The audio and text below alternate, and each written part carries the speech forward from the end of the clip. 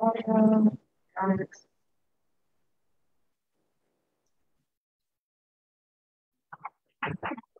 That's way, way down the hall. It's supposed to stop the video. And we'll just do a test to start video and see what happens. No, I did, and the host, it's streaming live. Hey guys, Yeah, you're, you're live. You're live. We're live.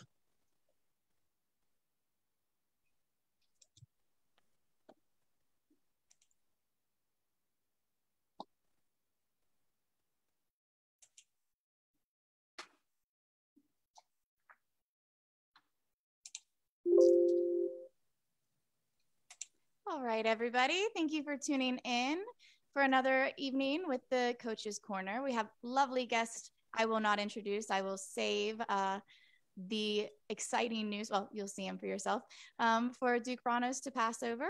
But I would like to say, just as you're coming in, feel free, get settled, ask lots of questions. I'll keep an eye out on the chat. Uh, and I'll pass that off to everybody. Hopefully, we'll get a chance to get to them. And if not, head over to the Coaches Corner because they're fabulous there and they'll be sure to answer anything that they couldn't get to tonight.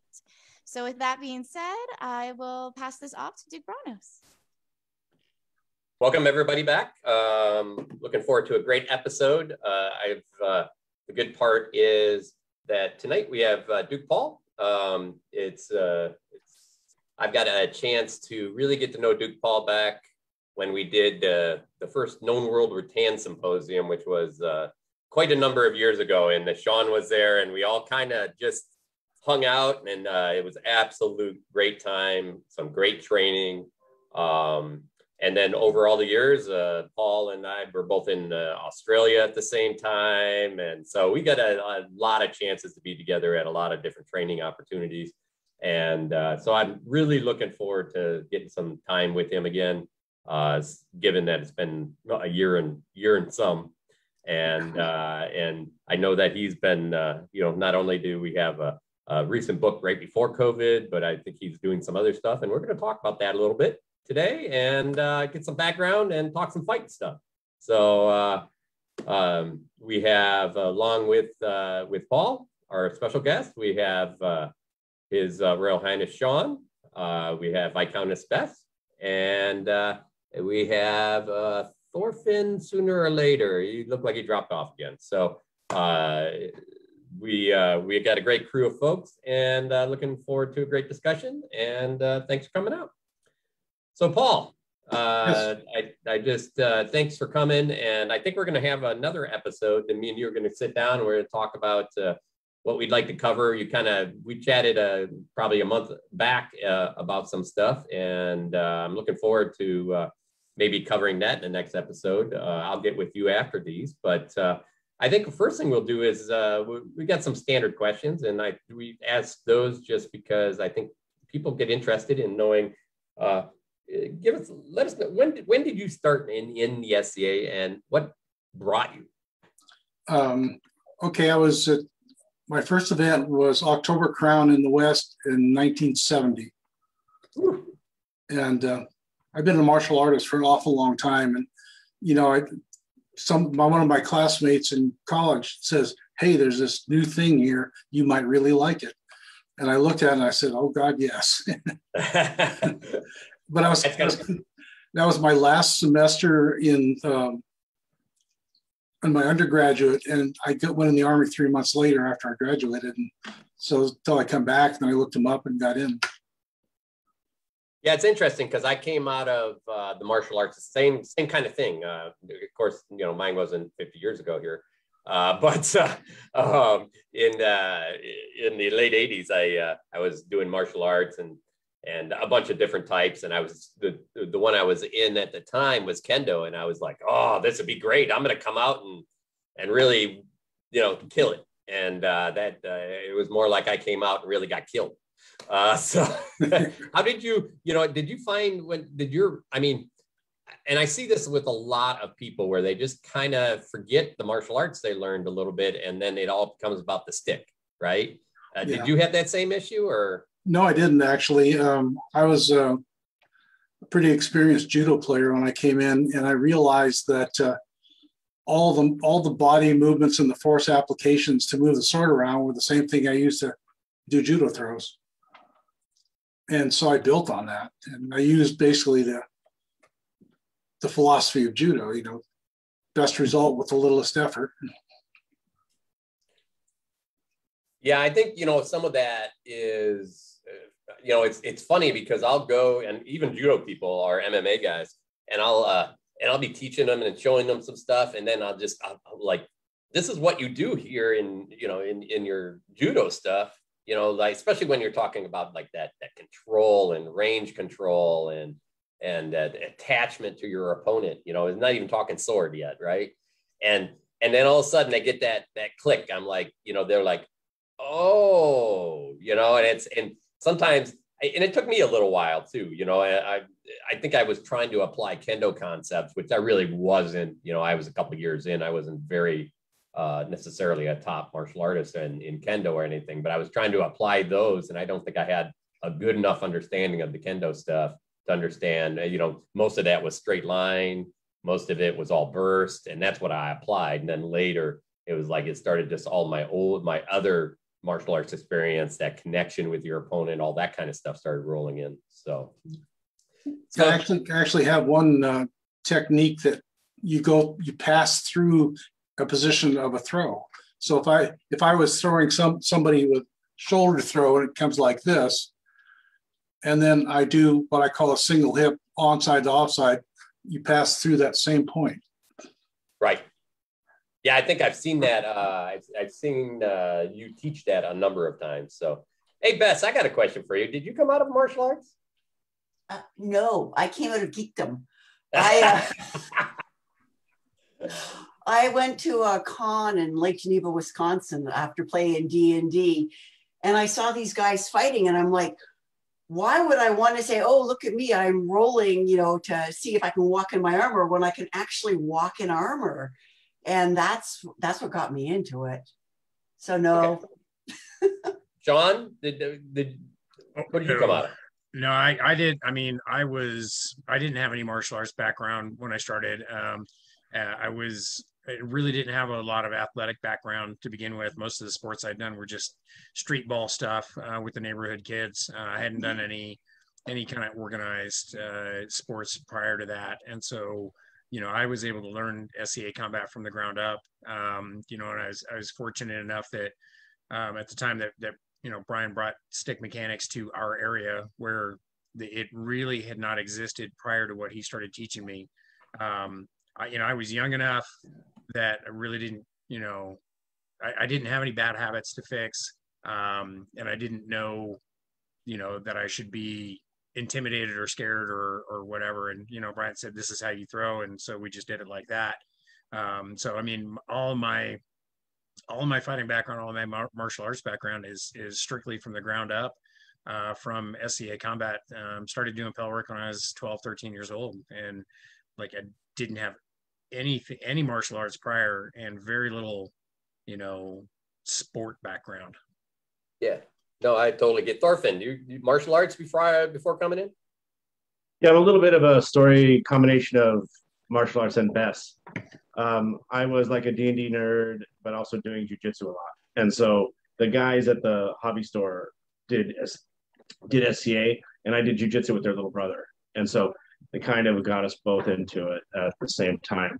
Uh, he, he went on to get knighted as well. So, matter of fact, he, he came into the SCA as well. So yeah, so I would say I did jujitsu for about seven years, seven or eight years, and then uh, kind of phased out as I started doing more SCA. And really, what it was was honestly there were girls in the SCA and there were no girls.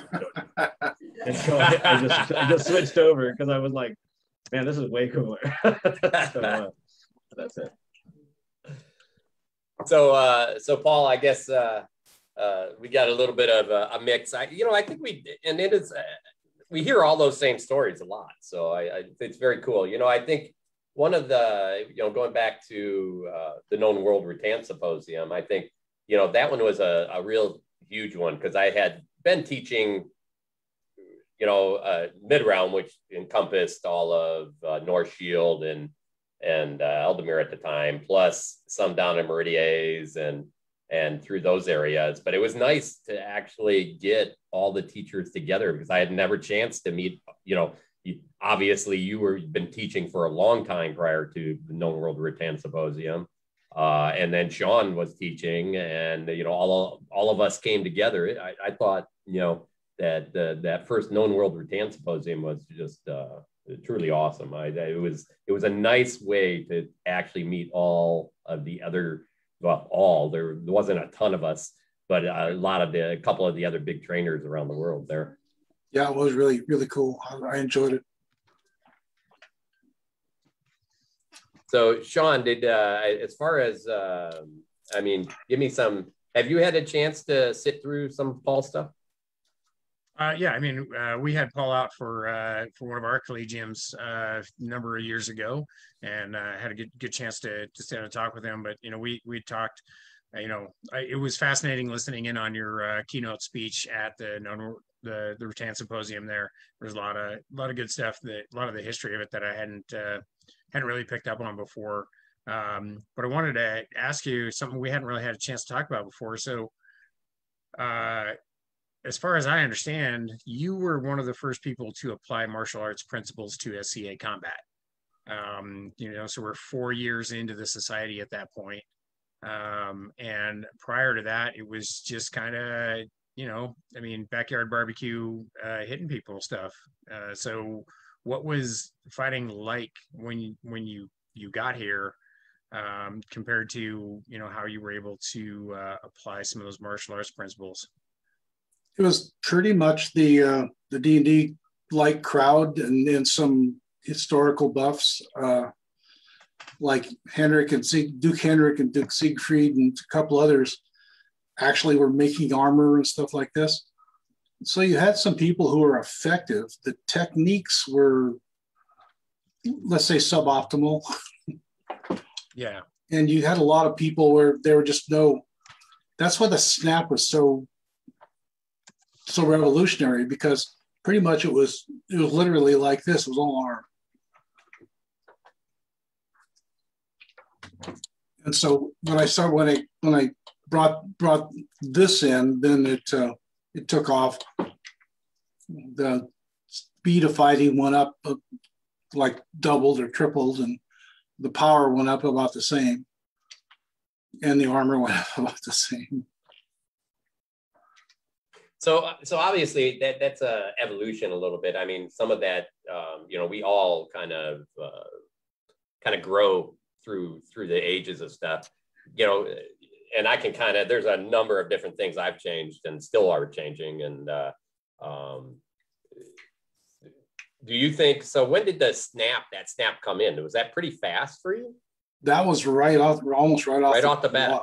Yeah, because you know I was also playing karate, and I did just that that whipping thing instead of using your arm to throw things. And, but it was sort of a it was big big sideways move. You know, come here come way around like this.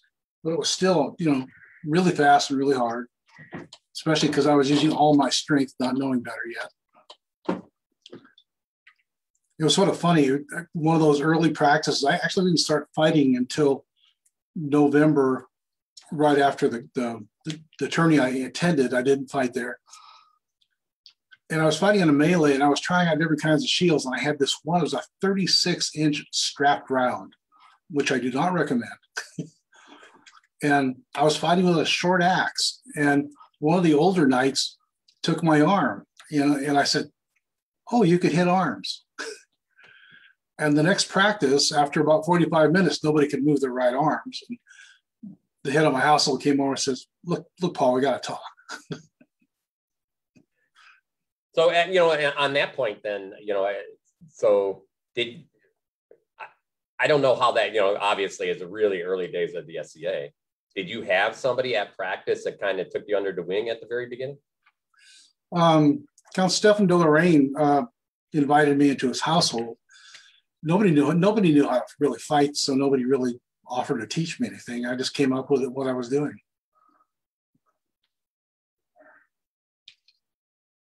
Bess, you got a question? Yeah, I do actually I have two questions for you. The first part is viewer question would you describe how your fighting uh, has changed as you've aged, as we all have? But the other question I, this is my half, is if you could change your fighting in any way other than I wish I started when say I was 12, how would you, what would you like to see different about your own fighting style? Well, um, when I said, you know, the, the greatest effect for the least effort, what I do is because I'm still growing my my my system. Um, that I'm looking for optimums. How can I make the body move the best possible way so it takes advantage of the biomechanics and stuff like this? How can I move the sword so it takes advantage of principles of physics to produce faster, harder blows? And I keep working on that. And it's uh, things have changed. Uh, I, I, came up, oh, then I was probably seven, eight years ago, maybe eight, nine years ago. I can't remember. I came up, came up with a concept I call commitment swings.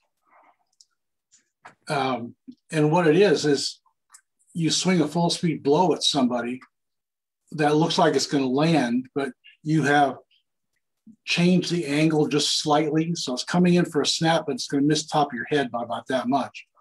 And they this causes your opponent to commit to that block. And you're still going to the next blow. So come in, they commit to this, doesn't touch, and I come back around again. And that's led to a whole bunch. It's like talk about opening a can of serpents, B.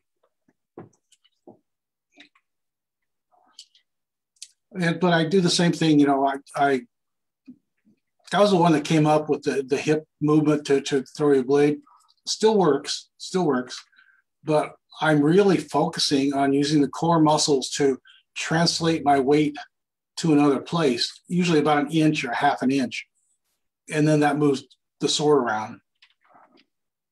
When you say move your your core muscles, are you talking about maybe just like shifting internal, not internally, no, I am moving to the side or something, or yeah, the the the, the uh, so these are my my hips, and I'll use the core muscles to move them this way like that, or move them that way, front, back, whatever and I use the use the dropping of the weight. So as I swing, my weight drops towards my left knee, my my shield knee, and again, it, it only moves about a, half an inch or an inch, but that's all it needs.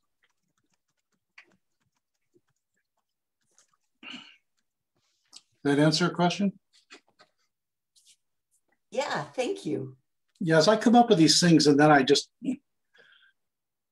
I just play with them. I come up with different combinations and different ways I can make things move. Um, probably just before I came up here, I was, I was teaching a uh, a class in my backyard, it was unarmored technique stuff, and I had developed a blow that from the return of a snap and came back here and came around down here and came back up again. And it was probably the fastest thing I've ever seen. And uh, this, this is fun, you know. So I'm playing with it. So I said, I wonder how close I can be to the Pell and still get the sword through. So I was about maybe 14 inches and I got it through. And it came up and hit, and bounced right back in my face. nice. Careful what you wish for. Go ahead, Thorfin. You're on mute every time. Having the opportunity to uh, grow up in the West where you started, um, so you know, I, I, learned a lot from people that you taught and kind of you know back at Giants and all that stuff like that. Um, as we moved forward, so as you changed your age, we were just I think we were starting to hit on it. Did you notice that there was a way that you uh, compensated for that kind of uh, change in your in your body? Have you had to adjust your style to address that? Is that one of the things uh, I was thinking that maybe we were hitting on, uh, and then it kind of drifted away from that? Well, yeah, I do. You know, I I I use a system that's the best I know at the time, and then I notice something is happening, like the the weight shift, and then I then I start studying what is it doing, how am I doing it, what effect does it have, and then I introduce it into my into my system. Um, I don't really I stopped teaching the the hip movement at all, and except for if it's a smaller person, you need everything you can get, so you do the hip and the weight shift. I see. Okay, that is interesting. You, uh, that is interesting that you say that because, uh, like talking about the hip motion and like applying that to to uh, power generation is so, uh, I guess, so ingrained now that you're you're not even having to teach it anymore. That is a, uh, it's it's just assumed that they've learned that. That's what that's to me really fascinating. Well, some people I know have. I know almost every fighting kingdom style uses uh, some variant of that hip motion. You know, So sort of that is interesting. I'm sorry. Yep, go. Was interesting. I was um, back in Maine uh, a couple of years ago, and I was teaching um, Mistress Maya, uh, who runs her own boutique publishing company, had said she wanted to publish my book. And I came up there and taught for a weekend and a couple more practices. At one of the practices, we had two physical therapists, and we are ta- I was talking about this concept to them. So I had them stand on either side of me and put one hand on my back, one hand on my front. So I got one guy on one side, one guy on the other. And I just started swinging a sword around my head. I said, What's what are my muscles doing? And they said, It ripples around your body like this. Just this one fires, this one fires, this one fires, you know, like that. I don't know what that leads anybody to, but it's an interesting phenomenon. So I'm curious, what do you do then in order to uh, develop your muscles? Like, like we, earlier before we came live, you were talking about a gym routine. So what do you do then to maintain your shape? Well, this is sort of odd because I, you know, until about my sixth or eighth year in the society, I kept myself in shape by doing what I want, what I was doing, play judo, karate, sword fighting, and then it started to get where I needed a little bit more, but I didn't really do it much. So I slowly got out of shape, slowly started weighing more, and and after uh, longer than that, afterwards, uh, quite a while after that, I stopped. Uh, I stopped practicing. Um, You you stopped practicing. anything. it wasn't fun anymore. That's why I stopped fighting. I stopped fighting because it, it the teaching was more fun, much more rewarding. And I didn't have to be in as good a shape for it. so what right now what I'm doing is I I do use the machines for aerobics. I do most of my upper body work with um, resistance tubing and then I use body weight exercises mainly for the lower. And then I, will toss in a couple of machines like, you know, uh, quad raises and hamstring curls that I can't do with the with the, the tubing and stuff. Well, I, I can tell you, while you know, while I still enjoy fighting, um, I, can tell you that I that uh, since you know becoming more of a trainer, um, I you know I agree with you, Paul, that there's the, the the joy and the satisfaction that I get out of helping others achieve the kind of success that I've had is far more satisfying than than any success I can I can have for myself at this point. Um, you know, watch watching people take what you've given them and, and watching them become successful um, is is a level of satisfaction that I had never anticipated. Um, and it's like it's it's the best job in the world it, I really enjoy it, especially when I've been teaching some odd technique to somebody and I see them use it in a fight. That's really exciting for me. I just love that. Yeah, I think I think that's the big piece. You know, I think that's one of the the most rewarding pieces is seeing the excitement in somebody's eyes after they can do something or they learn something. And you know, I that that whole teacher moment is uh, amazing. And getting to that place where you can help somebody succeed in what they are trying to do is uh, truly a gift. So, I remember this one night from North Shield, he he had his squire working with me at Pennsic, and then he started coming so he would know what I was teaching, so he'd help her. And uh, after a couple of years, we had a messenger correspondence we do every once in a while. He works swing shift a lot. And then he sends me one. He says, I just one shot at somebody in Crown using my techniques. And that was a real big moment for me.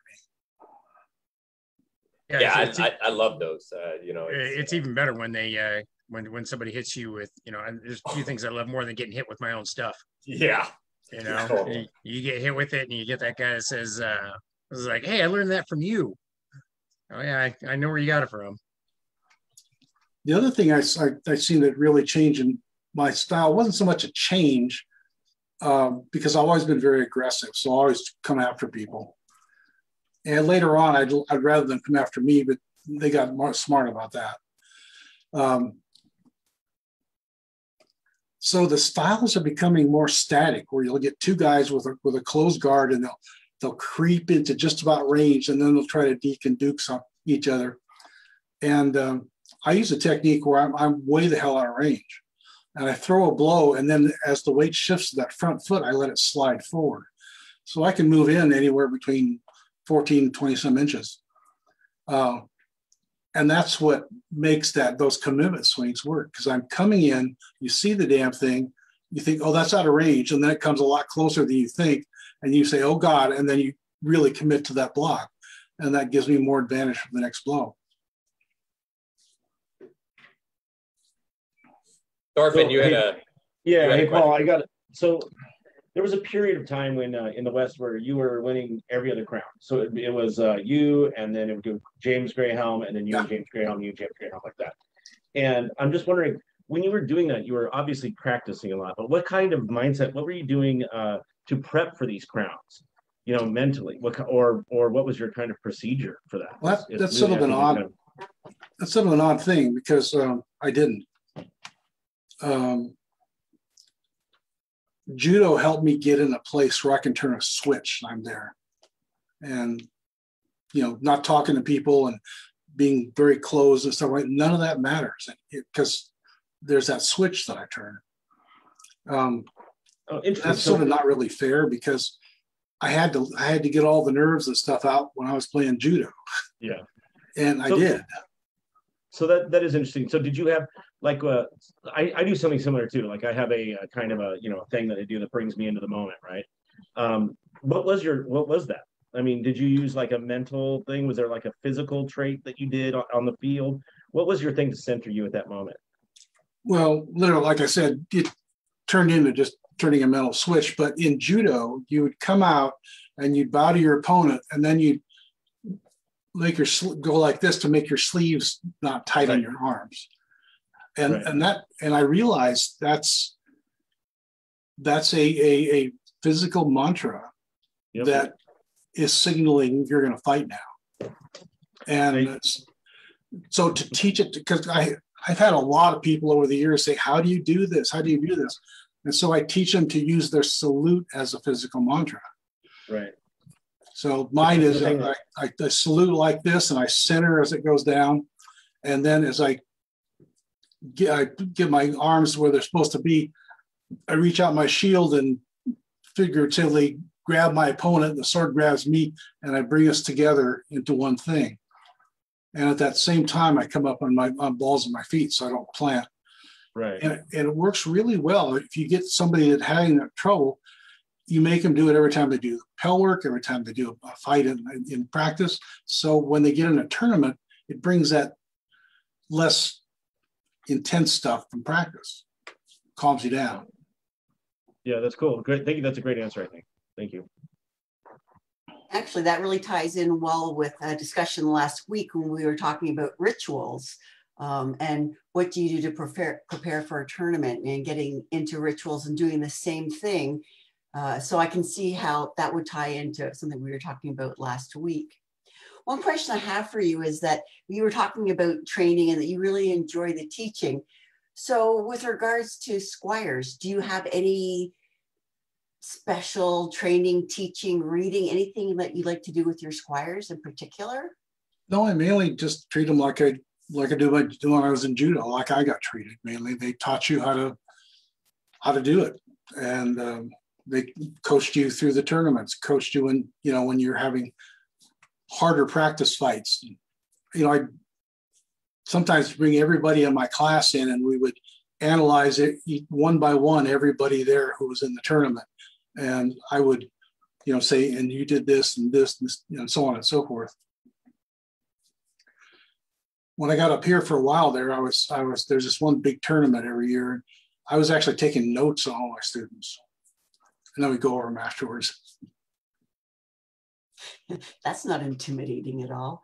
So would you recommend martial arts then? So here we are, like here I am. I've been in the SCA for some number of years. We'll just leave the number of decades to one side. Would you recommend anybody start a martial art like a judo or karate or something to help them with the SCA? I think judo is the best because then you get the body mechanics for actually throwing the swords and shields around. And you develop a pretty acute sense of where what your opponent is up to. Uh, like when we sparred in, in practice in judo, you're holding on to the rope and stuff. And we do that with your eyes closed. So all you had was whatever is going on that you can feel with your fingers. And after a while, you didn't need even that. You got so you knew what the other person was doing. And that became the basis of, of the perception techniques that I teach now. So that's kind of ties in with a conversation that Coach's Corner has been having sort of offline that will come to online. Uh, we talk about, well, particularly Brannos talks about being a thinking fighter, always watching, always analyzing, always trying to determine what their opponent is doing. But it sounds to me as if just now you were saying that you're more of an instinctive fighter, that you've felt their bodies. That doesn't sound good. That you um, you would re- react to them almost instinctively. How would you describe yourself uh, or your style of fighting then? Okay, the, the fight becomes a, a flow of things. You and your opponent are moving in some way. And it, it is literally like waltzing, you know, not the same movements, but dancers can feel what their partner is doing and know that where they want to go and stuff like that. And that's why I teach this rhythmic slow work that I teach, because your your your conscious mind apprehends the world. You know, that's what where you get your information. But it's way the hell too slow to use it in fights. But it teaches the subconscious.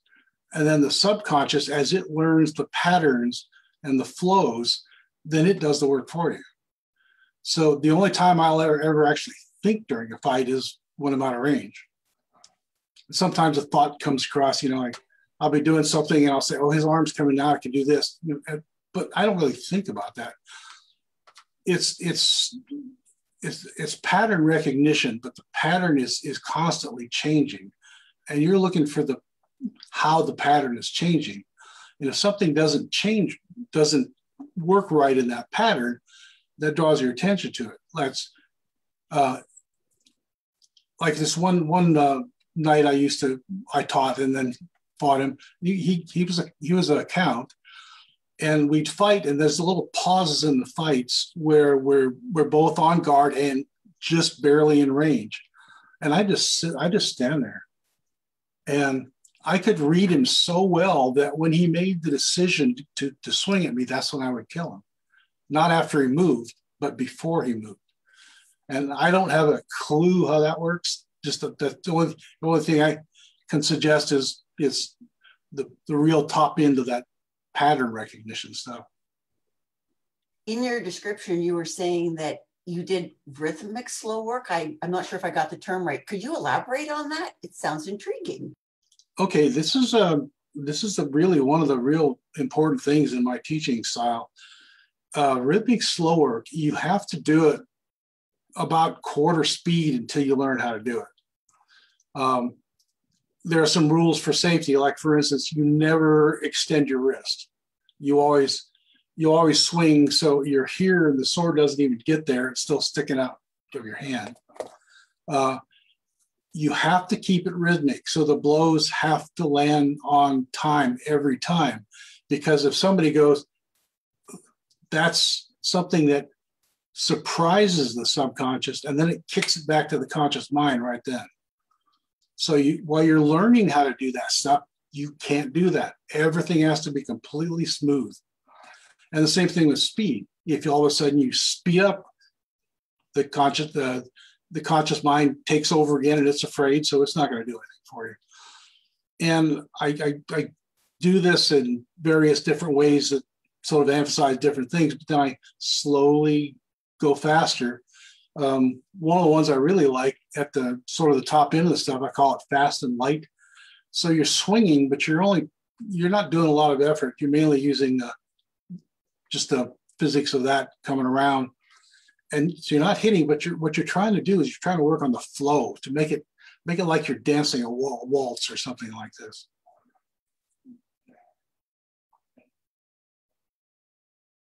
Does that answer? I have a hell of a time. I have a hell of a time getting people in other places to actually do that. You know, they always want to do the stop motion stuff, and they always everybody wants to go too fast. I just sit around and when I'm teaching, and just you know, slow down, slow down, slow down, because it gets up pretty fast. Yeah, part part of that conversation we were having that the best was talking about is the uh, the conscious versus the unconscious uh, fighting types, and um, you know I I think I tend to do it more by feel, like what you're talking about, whereas Brannos and Ronwalder do it very consciously, and and it's like, like they they do they, they, go through the fight by sight, whereas I go through it by feel. Is that is that an accurate description, Brannos? Well, there's still feel within that. So what we do a lot of there's there's pieces of thought. Most of it, same thing. What Paul's saying is it's happening. Some of that thought is happening in the safe times in the fight, or or in the safe times when you're dissing at the edge of range and are safe. Yeah. The the idea is in those times when when something you know you're we develop and we essentially look at all the moves on the board. We can see the breaks. If, if we speed something up, we can see the weakness in our opponent in that change in them. And then we can op- take that opportunity to build that into the fight, maybe two or three moves down. Um, yeah. Same with any response to a blow that, you know, essentially hits or doesn't hit. We analyze what happens in each piece of those so that that later I threw this, they picked that up, but they left this. Right and and then you know when you go to execution execution should be without thought in in flow in you know because otherwise if you're thinking through the, every piece of your execution like paul said it's very slow. You can't think through that every piece of your execution. But just like it you know uh, the the idea of chess is we're lining up all the opportunities and then pressing on each one of those opportunities to create the next opportunity until we find the opportunity that will absolutely be safe to us and detrimental to them. Yeah, well, I did somewhat the same thing. It's just sort of an emphasis difference. Um, I think I think consciously too at the safe points in the fight. But what I really want to do is I want to get the flow moving. So like I'll, I'll slide into to not quite range, but just so I can hit the shield, just to start things moving. And then the other person swings back and here we go and I can read everything so well that way. Um, I'd rather somebody swing at me, like I said, because then I can do nasty things. But it got so I had to force them to to fight, so I'd swing at them, and and then I'm as soon as that happens, I'm into my flow and I'm reading that. So you, Brannos, you read the flow too when you when you're going fast. You may think more about setting up something than I do, but not a whole lot, I would imagine.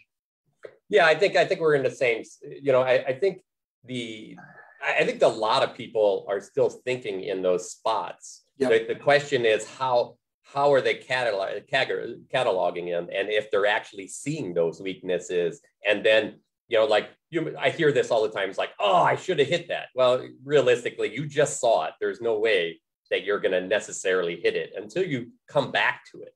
And then the question is, how long before you come back to it?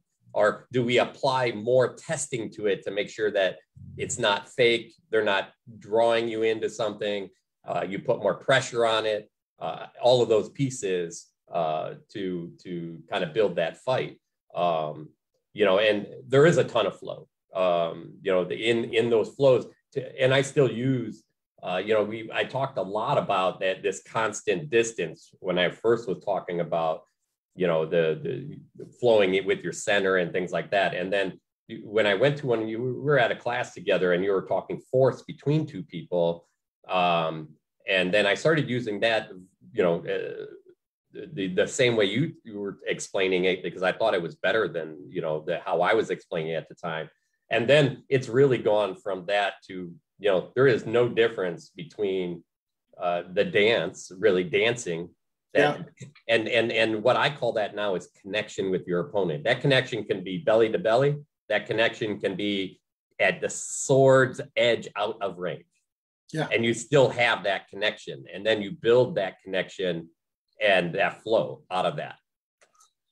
Yeah, I've actually come up in, in later years, came up with uh, tech, a technique I call parallel circles, and it's a range movement technique. You, the inner circle, they're parallel circles. One is, they're both around the opponent. The one is at their range, and the next one is out about a foot outside of that.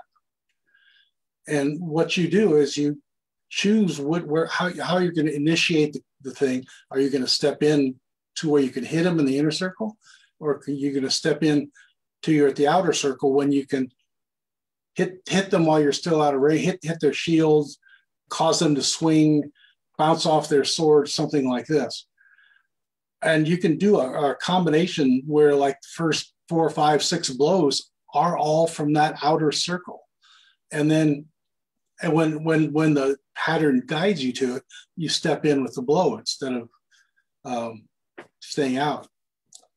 I saw a beautiful uh, exhibition instance of this. Uh, it was at uh, Sport of Kings, and there was the finals. And uh, God, I, I'm horrible on names, and after the drugs, I'm really having trouble. But one of the Ontarian Knights, he's got his opponent on his knees, and he is standing on the outer circle.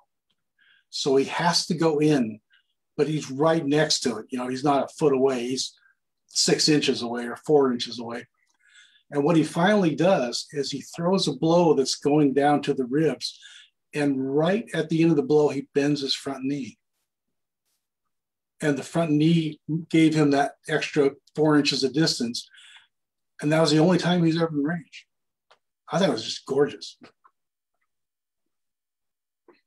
Yeah, and I think you know, uh, and Thorfin, you were kind of you were kind of answer asking this question, and that was about that hip involvement. Um, what we have found sometimes we talk so much hip that that we get this circular hip involvement, and it, we create a cylinder. In other words, the hip will push forward while the reverse hip. So you take all the power. A lot of times we we're like we're teaching smaller people or women fighters how to use their hips, and then but what we're not have what's not happening is we're not also transferring that balance so that everything's driving forward. So what we create is this rotational exercise that's actually not creating any power at all because you got negative yeah. power going back and positive power going forward. Especially when people don't think to really tighten up their abs, because ah. then then you'll have the hip goes here and you haven't given any power to the upper body. Yeah, and in fact, what we found is, uh, especially if you're if we've a number of people that were like belly dancers, they know how to isolate those things. So they're literally isolating their hips. Yeah, yeah. And nothing is happening. Nothing is happening. The, hip movement actually serves to move the body in a certain way, moves moves the weight somewhere, and you can use the weight to make, to make the sword guard. It's like it's like standing on a, on a pier by the ocean, and you tie a rope around your ankle, and the other is a, is a an anchor, and you toss it off. When you get to the end of that rope, there's your swing. Yeah, and likewise, I I use my hip uh, a little bit differently because I don't use my hips for power. Uh, I use my hips to generate motion. So I use that hip rotation to connect through the through the core and up through the shoulder, and I use that to to get the stick moving. And then once the stick's moving, then I'm I'm using the physics involved in the two pound object traveling at a certain at a certain speed.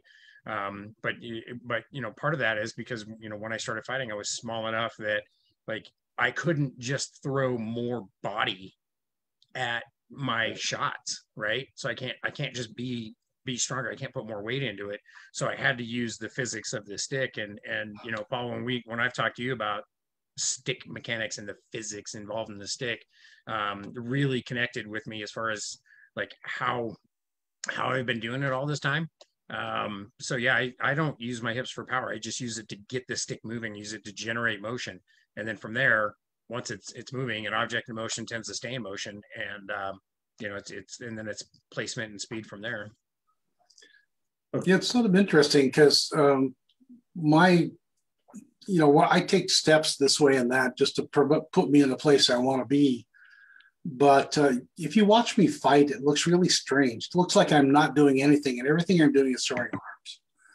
Um, my my ex squire Sir Brand uh, McClellan, he's watching me, and I, I, haven't been fighting for the last five years because I had a medical problem. So I, I missed the, the last half of the 90s. So I'm in a, in a tournament, and he is seeing me really fight for the, the first time. And uh, he's standing right next to somebody with a camera, which has sound on it too. And he's saying, Look at that. He just reaches out his arms and things blow up, you know, because that's what it looks like. You don't see the big swings and stuff. You just, it just goes out.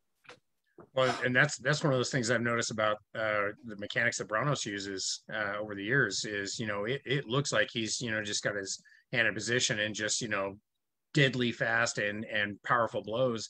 And what you don't see uh, is all the micro rotations that are happening from the ground up, from from the from the toe through through the ankle, through the knee, through the hip, and you know there's all these little micro rotations that are happening that all that that all you know result in that that power chain. And it looks fast and it looks like it's a really short stroke. Um, but it's got plenty of power and it's got plenty of uh, you know and and there's there's just there's a lot more going on than what you can see because everything is happening so fast in those micro rotations. Yeah like when i throw a snap um, when my hand gets to here the snap is thrown the rest of it's just ballistic motion. Yeah. So I'm curious, you have referenced that in the last second half of the 90s, you missed it because of injuries. So one of the things that we've been talking about here is the mental preparation or how you how to get back into it. So here you are, you've had some injuries perhaps, and you've been out. Uh, mentally, how did you find yourself coming back to it? What did you do, if anything, to get back into fighting and back into fighting shape? Well, I'll answer your question, but how I got back in was actually to talk my chiropractors into letting me do this specific part of fighting and not that part. So, um, my neck is had some problems way back when in judo. Somebody threw me on my head and drove the head into the, the mat hard enough it almost knocked me out.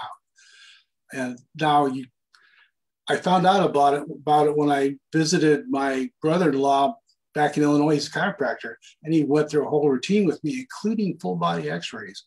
And I was watching him when he looked at the one in my neck, and he literally turned white. And he says, "You can't fight anymore," and told me why. You know, so I'm not stupid, so I didn't fight for the next five years. Did you amend your armor in any way, like extra neck protection, or did it change your fighting style? And no, the only thing I had I had to do is I, I couldn't fight in mul- multiple opponents. If I get hit from the front of the side from somebody in front of me, that's fine. If I take a spear to the side of my head, not so good. So I just yeah well, can't fight. Couldn't fight in wars, which I didn't like to fight in anyway by that time. Well, that answers my question because I was curious which you which would you prefer, the tournaments or the the many on many's for melee's wars or the, the single combats? Well, so put a line out of out of the MASH, the movie, the series. Somebody's asking Hawkeye, you know, the, the exactness and the techniques, you know, and the high level stuff, and he says, "No, man, this is meatball surgery. We just want to put them together so we can send them back to well, that's my distinction between tourney fighting and war fighting. It's a whole different game. So I got to tell you, I got lucky enough to uh, fight Paul in a crown uh, during that time period, and uh, it was an amazing uh, tournament. Thank you, uh, Paul, for that experience. But one of the things that happened that day was you were fighting two stick uh, for quite a day, and then at the finals you switched against me to uh, great sword. And what this brings to mind for me is over all the years of your training and you're applying all of your your your style to different weapon forms. Of those, what was your favorite weapon form to use? Um, and is there a reason why that that was like your favorite weapon form? Say, for instance, Naginata, great sword. You know, you know what I'm saying? Yeah, I developed um, for I, I fight more weapons than I in my early days than I fought in my later days. Like axes and maces are not real good turning weapons because you give to way too much distance. Um, great axes are really sort of clumsy. I've only seen one person I thought was really doing a good job. Um, so I developed uh, four weapon systems to where I figured crown finals level.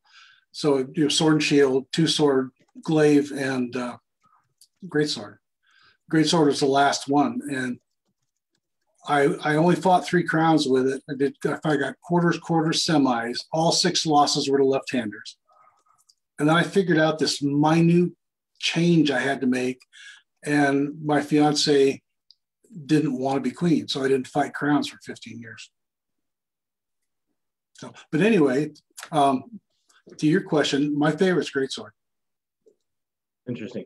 Yeah, I got to tell you, uh, your power generation with that greatsword is terrifying. Um, second fight, I had fully blocked that shot, and you hit it so hard, my shield, that it blew through my shield and hit me hard enough to kill me. And you were like, "No, no, I hit your shield." I'm like, "No, I'm I'm dead." right? Was, but I mean that that form that you have, that uh, that power generation you have, is is just devastating. And, and uh, yeah. you know, it, you're definitely one of the the champions of that that style. I gotta tell you, it's really it was really great.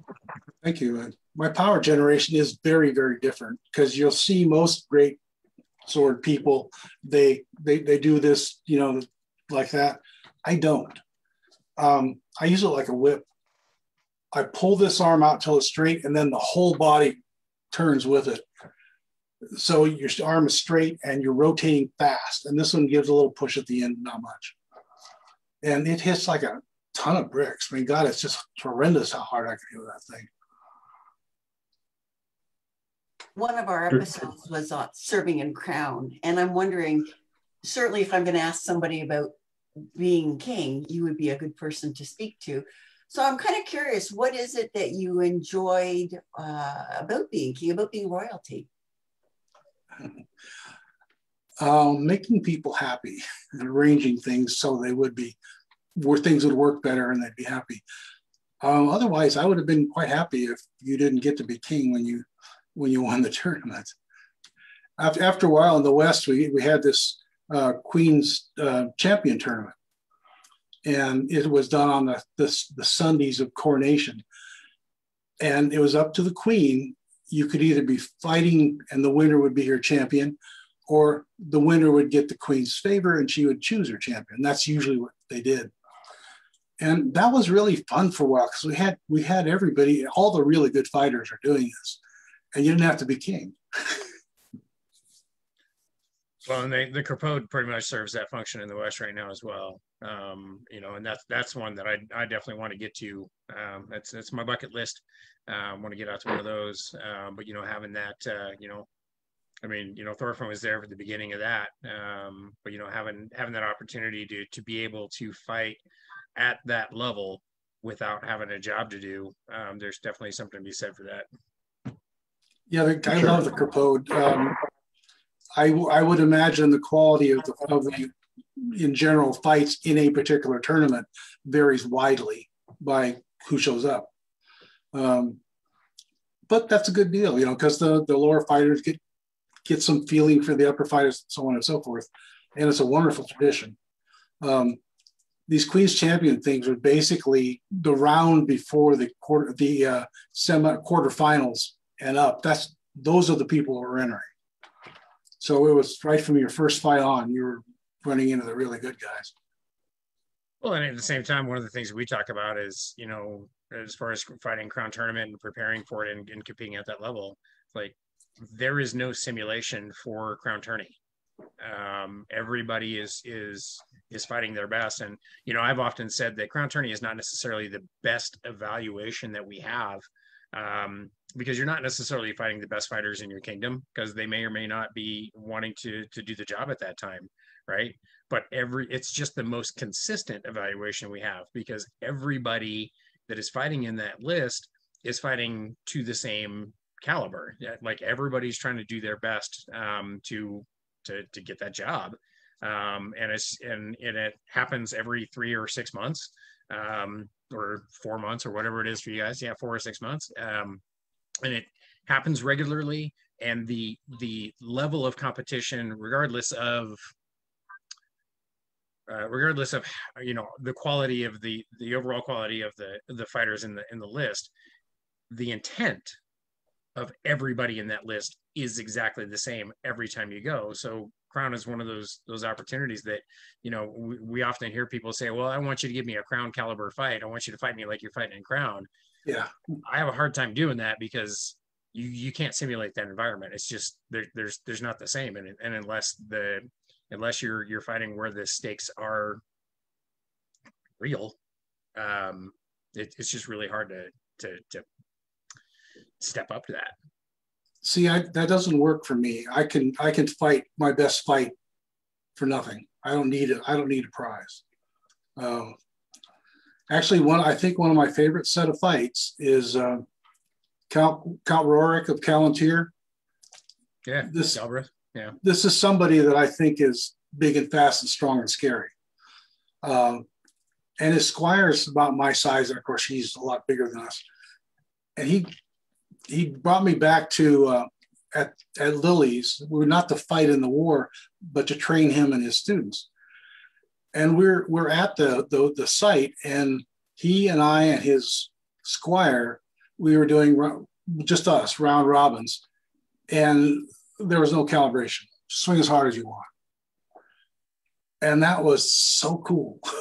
you know, you get a tip across your helmet, you smell the ozone. You know. Yep and and uh, we didn't know, but after right when we stopped, there's a there's a whole circle of people around us, about you know 30 feet away. And he said uh, that the knights grabbed him right afterwards and said, "You can do that with Bellatrix. Don't pull that shit on us."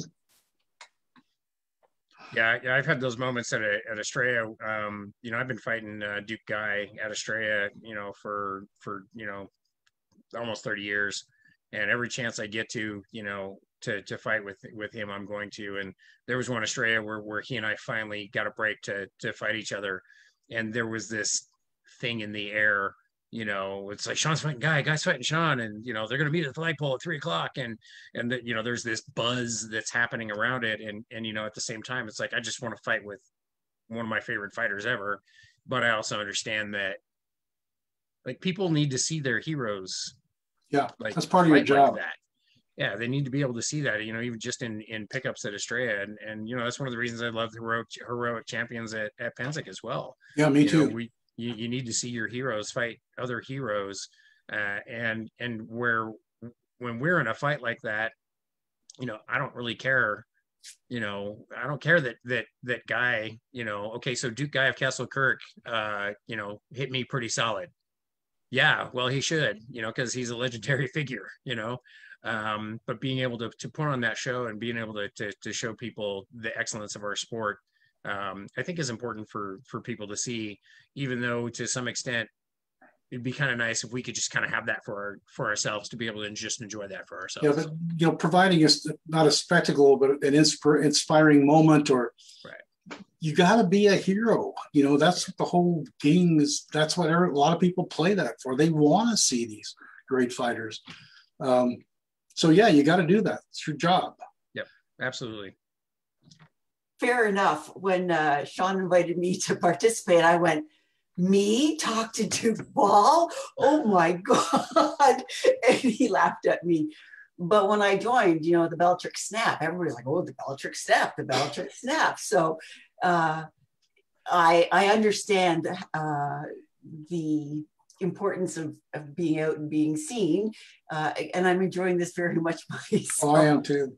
Now, speaking about the, the Bellatrix Snap, my first fighting manual was like a 15 page mimeographed, typed out. The, the, the illustrations, there were like six illustrations, and they were actually life drawings. One of my friends, I, I modeled them and she drew them. And being very naive in the ways of publishing, um, I wasted one of the illustrations on a technique which I very thoroughly described right underneath it. This is only useful in this one particular situation, not anything else. Well, people saw the picture, they didn't read underneath it. And so that thing became the snap of the whole eastern side of the country. and it's nothing like the snap, not even close. Well, and, and, and what it's what it's what it's led to is that like I was right after the pandemic started, I was having a conversation with this this knight somewhere in the, in the southeast, and I'm talking about changing blows, and he says, "Yeah, I just come out like this and go like that." I'm going, ah.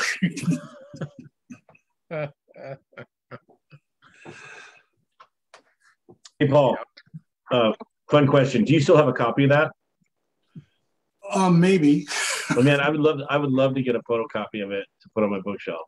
That'd be so rad. oh, and, and also so we can, you know, get the uh, get that Bellatrix snap, you know, repopulate that a little bit, get get people believing in that again, right? For real. Look, I, I hate to admit this, but I, I grew up, this was the Bellatrix snap. I think I very likely still refer to it to this day when I'm teaching people. I'm like, well, Duke Paul invented this. I'm curious though. So you started off with, you know, your snap. Has it evolved in any way? Have you seen any changes to it? Anything that you wish hadn't changed to it? Oh yeah, it's changed over the years. Like I said, the first one was a sort of a sidearm swing with a lot of body motion, and now I, I use that. Basically, I'm, I'm going on biomechanics and physics, so you don't need to come out there. You know, you only you only need your your body to be connected. You, your abs have to connect your lower body to your upper body. Your shoulder has to be tight and that connects the arm to the body. And this is one of the things that, was mistaken. Um, I hold on with the bottom two fingers on my sword, not the top ones. Hmm. Because um, there's a theory of what, looking at the body called anatomy chains trains, and they identified um, lines of muscles and connective tissue that run all over the body. And um, from these the, these two fingers, a line runs up the arm and under the arm, and then spreads out across the back. And the big lines that are coming up from the bottom go right through that area, and that makes them it turns them all on. Whereas the front two fingers, the line comes up the arm, it goes out over the chest. You don't use the chest much in this.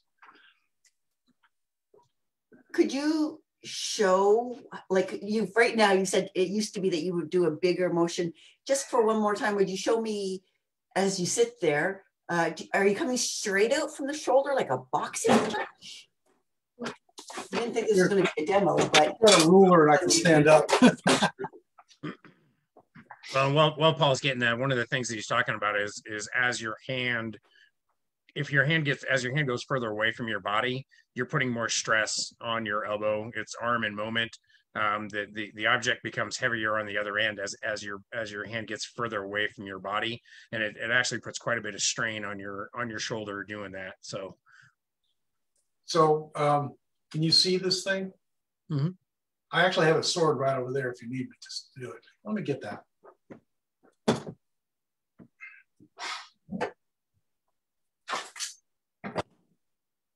Oh.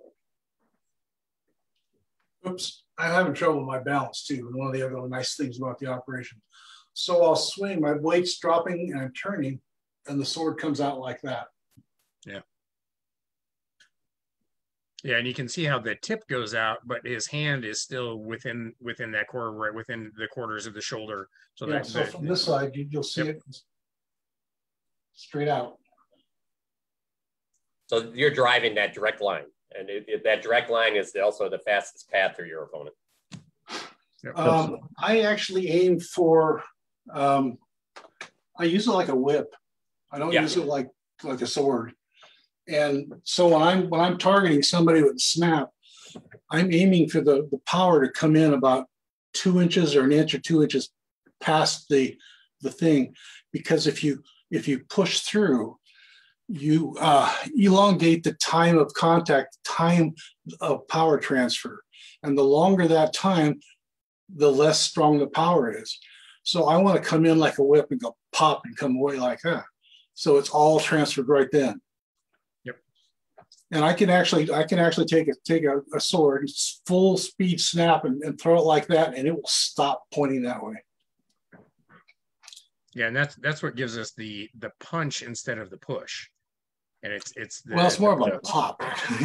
right, Yeah. but that pop, like, yeah, it's it's the pop No, it's a, the yeah, it's a punch punch as opposed to, yeah. as opposed to a push because if you make contact and then you push further through on a follow through, people don't actually feel that. They feel that punch and they feel that concussive uh, punch on, on at, at impact. Yeah. And I and the- think you're you're you're you're so you're also doing a thing where you close your hand at the point of impact. Nope. Okay, I hold on with these fingers, remember? right. So- The bottom Okay. two. Think about think about using a hammer. You don't do a hammer like this. right, right. You do it like this. And that's the same thing I'm doing. Yeah, that's something I try to explain to people too. It's it's it's, it's that same place. Um, the hand is relatively loose, and I my my snap at the end, those back two fingers, Yeah. essentially transfer that force. Yeah, I actually use a lanyard that comes around the comes around from the front of the sword around my wrist back, so it holds it in, but it's below above the wrist, so you don't get any wrist movement or applying power. It's all just from the arm. Well, mostly, not that good. Hey, Paul, do you use that uh, when you when you make that uh, pop that you're talking about? Yeah. Uh, do you use that recoil to re- to load into a next shot, or would you say that you would uh, it, that's not how you how you power load to the next move? Well, that's sort of how I thought of it for a long time, but um, I, I sort of don't do it anymore. You know, if it happens, it happens. That's great. So what I do is I develop the things out there like that, and what I will do is I'll start the backward movement of the sword by translating my body back an inch, like I'm headbutting somebody, and so I'm pulling with my whole body right down the, the sword, and then it goes out, and we play around with that out there. so you're returning with your big back muscles then. Yep.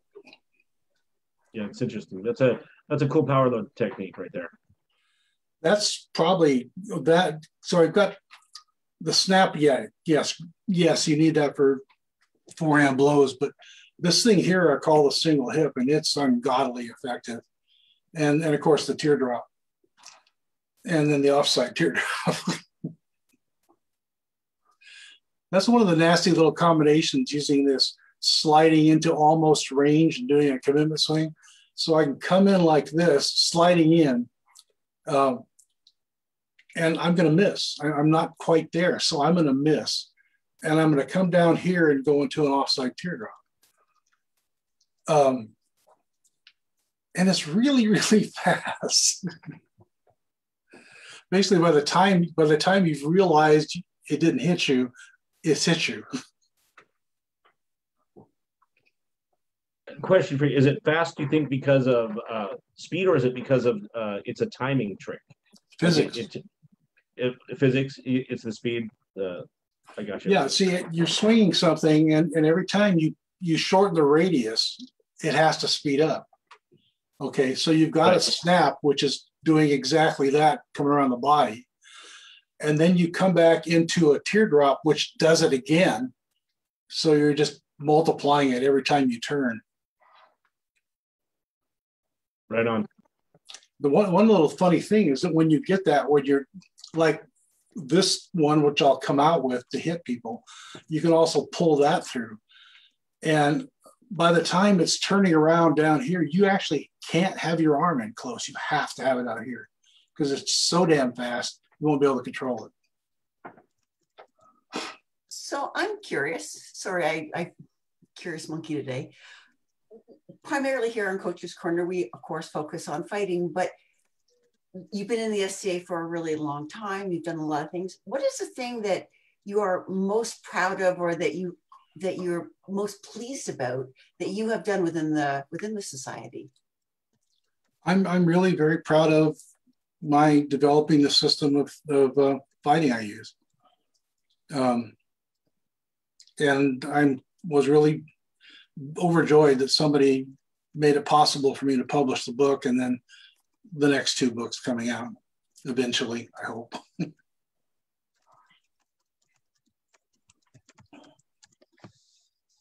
So not to uh, steal the glory, can you? Uh, I'm not going to ask for both books, but um, what's the what's the premise on the next book? the next is training um, so how you run a fighting practice, how you how you progress in training, uh, and like what weapon should you start teaching first, and then what's the second technique you should teach. Which is not a weapons technique; it's a movement technique, you know, and then on and on like that, and then. Uh, how do you tell that you're actually progressing if you don't have anybody there to tell you? So I, I give you some some if you if you can do this, if you can do this, you can do this, then you then you're doing it pretty much right. Um, that's going to be a real hard hard section to write.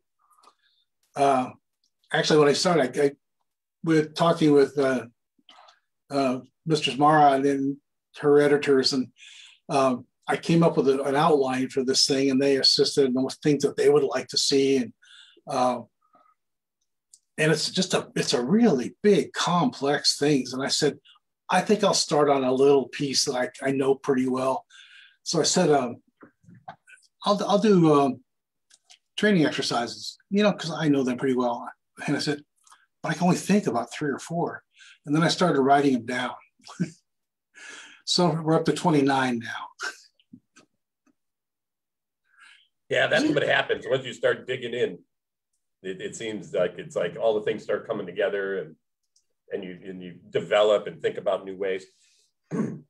I do like uh, the, the part I really uh, looking forward to reading is the progression because I I think we some people understand some progression um, training, but most of that progression training is physical progression training, and that's what it, where it should be in the beginning, anyways.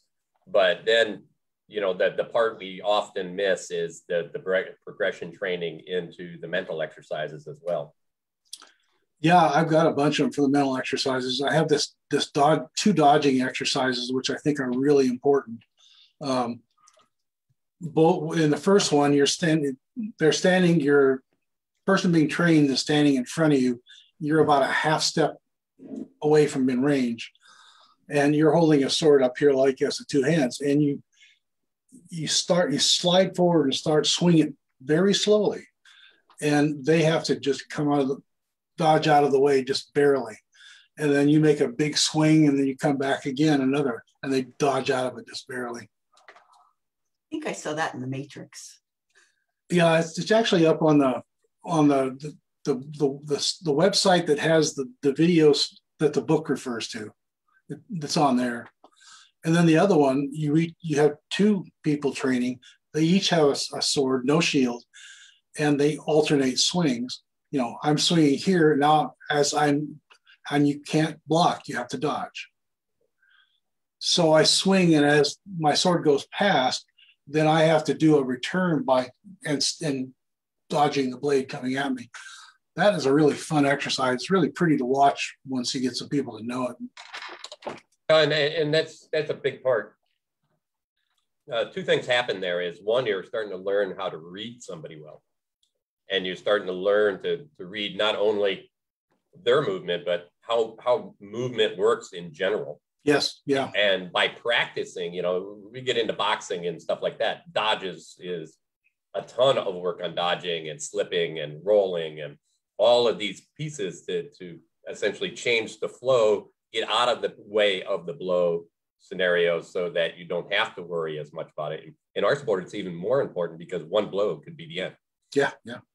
So, um, you know, I, I think we don't cover enough of those skills, not only just the, the act of physically dodging, but also the recognition of, of that time somebody's, you know, understanding how fast and that time that that person's working in so that you can dodge in the correct time.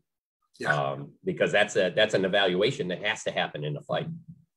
I use a lot of uh, a lot of visualization when i'm teaching that kind of stuff. Like this one here you imagine a bright line of light coming out of your sword and you imagine that you can feel it pushing the air towards you.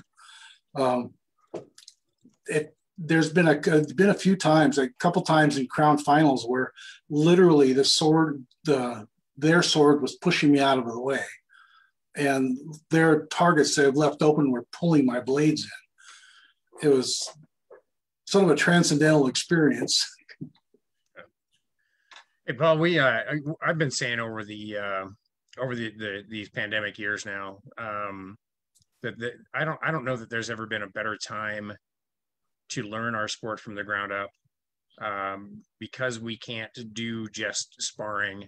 Uh, there's so much groundwork that we can do with both pell work and footwork and a lot of this the the training stuff that you're talking about and one of the things that i that, that we've seen over the years you know getting people started you know people don't want to do that work Nope. They they, they want to just they see the fighting which is the most dynamic thing that we have. It's the hook that, that gets people into the SCA and you know and then they realize that there are many other things that that that make this you know worthwhile to be part of. Um, but they just want to put on armor and and and just go at it and start swinging. And and and you know throughout the pandemic it's it's i think it's become much more obvious to me that you know if if we could get people to to find the patience to to you know it's like give me six months um, of of training before we actually put the armor on you. Um, i just think that that what can be learned in that time before you actually start fighting you know because because there's there's a lot of the physical stuff that we that that we have to teach our body how to do. But when you put somebody against somebody that is trying to do them bodily harm and swinging a stick at them um, all of all of the, the like there's this disconnect between the training and the combat involved with like fear for your life for lack of a better term. I mean um, so what are some of the things that that you've seen over the years that, that we can do to kind of mitigate that and and to, to find that balance between doing the training and and actually letting people you know get the you know the the, the cookie of you know actually doing the thing Um, in the old days, we used to break it down. Um, we do. We'd start out with slow work, and then we would, during that, we would identify certain techniques that we wanted to talk about, stop and really go over the techniques. And, um, you know, this is how you throw it. Here are some options. Um, here's the defense. Here's how you can avoid the defense, and on and on and on like that. Really just take it apart and put it back together. And if anybody came up with something new, because this is real early on in society, the whole practice would stop and we come in and discuss what the hell happened there you know, and what can we do? How can we avoid it? How can we make it better? And stuff like that. Um, and then we'd, we'd get into it was um, controlled fighting. So basically, you you would basically slow or fast. You had to keep up the motions. You couldn't just stop there and and pop like that. And then we went on to fast. And in those days, it was considered a, a good thing to really learn the different weapons. So between coronations and crowns, we don't. We, you could fight with your best weapon, and between crowns and cor- coronations, you couldn't fight with your best weapon. So everybody learned all sorts of weapons. That's sort of gone by the board. so uh, we, we had a question that popped up in the uh, in the live stream here um, from uh, His Grace Torgal up in Ontier. He says, uh, could Paul comment on the Ontarian High Guard and its defeat of the Western style at 20 year? Um, I can't really comment because I don't remember 20 year. I know, No. I know, I know. Torgal was down there 20 year, um, just cleaning house uh, down there, and it was interesting. Uh, you know, I, I I watched uh, Christopher of Houghton uh, win Aiden Belt Crown in the spring of 1983. and I see Chris is watching as well, um, and and it was the it was that high guard, right? Which was you know what we what we affectionately refer to now as the Iron Chicken. Um, and at the time, it was it was kind of unstoppable. I mean, it was a whole new thing, and and it was you know uh, was using it up on Ontario about the same time that, that Chris was using it uh, in in the West and in an Aidenbelt. And I know for me, uh, having having watched that crown, um, you know, we you know we tend to trend towards the things that are successful in a, in a given period. And so there was a period of time that we we were all fighting with the Iron Chicken, you know, doing doing doing the high guard, um, and you know that having fought that for a while, um, my the way that I throw the offside leg in the Moulinet directly comes from that. Even though I'd never seen Chris throw an offside leg from that high guard, um, my, the way that I throw all of my off body stuff directly comes from from that line. So you you were around when that whole high guard thing, you know, was was created. Um, what what do you see as the evolution of that, and how do you how do you see how, like, how did that happen? Like, did it happen just coincidentally in Ontario and in the West, or was there enough crossover that that that they were related? Well, there's always people that will look. They look at the at the fighters that are doing the best, and whatever the hell they're doing, they will adopt it. Right. You you can see this in the evolution of shields. You know, so um, I I started out fighting with a sort of a round shield. Was slightly bigger, but it's a small one, like 22 by 20, 26 or something like that. And people tried that, and they and they realized this is not an easy shield to use. I use it because it's a good training shield. And since I didn't, I was successful with it, I just kept it. Um, and then Radnor came along and he had the bunny round. And then it changed into the square. They're all the same shield, they're just different shapes. So, um, and the same thing will go on with fighting. Torgal was a gifted, gifted fighter. People going, you know, um, so they're people are going to imitate whoever's being on the top top right then. Um, the Ontarian style has some interesting things to it, and uh, but it's uh, it, it's it becomes a matter of taste, uh, more or less. I'm an offensive fighter. That's a defensive style, and I, I am really really a bear on using optimal biomechanical techniques, optimal ones, use of physics. That doesn't. Um, I'm I like techniques that that save you every fraction of a second, so you can use it somewhere else. Theirs doesn't. That doesn't. So it's my preference to go with the the flowy style that I use, which really starts working after the first blow.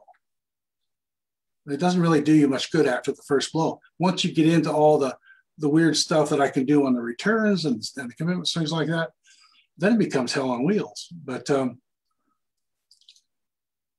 basically, they I can't get really too far into it, you know, because the you know, basically if somebody swings at you, they have gotten into range just barely, and they maneuver positions when they see something that they think you've gotten out of position, they go for it, and uh, that's about as far as I can really get into. I'm not a master of that style. So, well, yeah. yeah. I was just kind of curious about you know having witnessed the the development of those things, um, you know, kind of happening in the West and on and and on tier kind of independently. It was just just kind of looking at it from a evolutionary st- standpoint, I guess. I actually can't remember when I first saw it, so I can't really comment. I know I know Torgal was one of the first, and he's he's a talented fighter. The another interesting thing about that, when you reach a certain level of expertise, it doesn't matter what style you use. Yeah. Yep. Yeah, I would I would tend to agree there. I, I think a lot of us look and and uh, we're you know we're like just do it this way, but you know for a, a young fighter that's that doesn't work that way because of we have all that background and you can pretty yeah. much change into anything and still be dangerous because your control, mental control, and control of range and tempo is is something that's that that comes along with any style that you set up. So, you know, uh, Thorfin had a question, I think. A question and comment and stuff like that. Um, I want to first off say that I love that how all of the kind of West Coast fighting styles have all learned from each other and morphed over time. And a yeah. lot of what I do is definitely, you know, based on the Bellatrix style. And then, of course, I learned a lot from Montier and even uh, would come down from Torgal. But to answer Torgal's question about the Western thing, I was going to say, but how did it turn out at Eagles afterwards? What? so, anyway, I just wanted to poke. Yeah, I'm not going to get into one of those. we we had Radnor on a few weeks back, uh, talking talking about a little bit about that too. So, so All right. Well, we're looking at uh, 8:55. It's been a great conversation. I, I tell you, it, it this is it. It's, it's been a fun one because we usually have some questions. The standard questions will pop in there. I, I think we started with one and then we just went off. And then and then Bess had a great time. She she had that little inquisitive monkey mind going. So I am uh, I love that coined that term for her. And uh, and, and between Bess and Thorfin, I was just like, oh, I have nothing to do. These guys are asking all the cool questions. I'm just gonna listen. yeah, I really appreciated the questions because that's I, I really makes it makes a better thing for me. It's a I'm responding and then I can build off things like that. So thank you both. Hey Paul, can I get a? I'm gonna order a copy of that book, but can I get it signed? Yeah, sure. Um, what I've been doing is, you know what a book plate is? I think, yeah, yeah, yeah, yeah. It's a little piece of paper about like this that has sticky on the back, and I, I can sign that and send it to you, and you, got you, you just put it in the book. Coolio, thanks, buddy. I, I can look forward to getting it. I'll order it uh, tonight. Thank you. Appreciate it. Awesome. Bess, oh, you have anything more? Just one thing. Uh, anybody that's that's bought my book, um, if you if you get a hold of me, I will, or I'll look on the Bellatrix Fighting School page. I will attach a document that is a very detailed outline of the book. It shows you all the chapters, subchapters, uh, sections in the chapters, uh, where the where the videos go, and so forth. So it's really nice if you're going to study the book. Just reading right through it is not necessarily the best way. But if you want to look at something particular, this will tell you where it is very easily. Awesome. So Bess, did you uh, do you have anything else? I, I honestly think that I'm okay for now. All right. Tonight I'm going to wake up and go, but wait. but for now, I'm okay. Well, one thing I learned is anytime you want to reach out to Paul, I, he's he's a listener and he loves, oh, absolutely loves talking, fighting, and training, and um, you know, we've we've had lots of talk about it, and it's amazing. I tell you. Yeah, just so. anybody get in touch with me, and we'll talk. Yep. Especially you, Beth. um, Sean, uh, what do we got next week? Uh, that's a good question. I usually look that up. Hang on. Hang on. Just uh, I think I, um, I, have the page up. I think I up? should. Yeah. I should actually ask uh, Thorfin what we have next week because I think he's running that one. And, uh, I, you know, and I think Paul will appreciate this one. And it is Elephant in the Room, crown calibration or high end tournament calibration. So I think we're going to put a talk together because we hear that coined quite often. And, and I, I and I have a lot of you know this a lot of people at practice is like why does there have to be a different calibration in crown than in a normal fight and in, in anything different? Or i hit somebody yeah. in crown and or i hit somebody at practice and say you know uh, that's good but if it was crown it probably wouldn't be. I for sure heard that exact phrase so I think we're going to have a discussion and hopefully a lively discussion on that. I bet you will.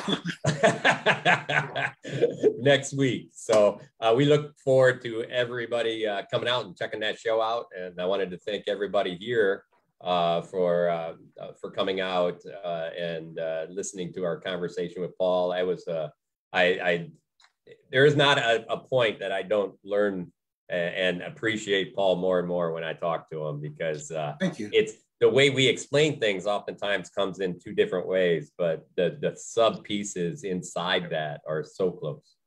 Yep. So, Sean, anything you got? No, I just want to say thanks again to Paul for for joining us. It's it's like likewise, it's always a pleasure. Um, and you know, we're always saying that the more you get exposed to the differences, the more you understand the commonalities. And that's kind of what Brian was just talking about is like, like we all have different ways of, of expressing it.